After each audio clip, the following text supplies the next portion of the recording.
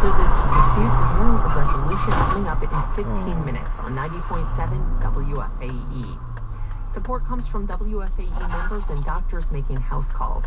105 primary care and specialty clinicians helping complex patients avoid unnecessary ER visits and hospitalizations.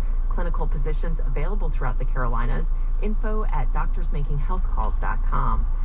Original mattress factory, providing mattresses and bedding hand built in the Charlotte factory and offered direct to the consumer. More info at originalmattress.com. A chance of rain today, otherwise cloudy, a high near 78 degrees. Live from NPR. Live from NPR News in Washington, I'm Dave Mattingly. Johnson & Johnson says it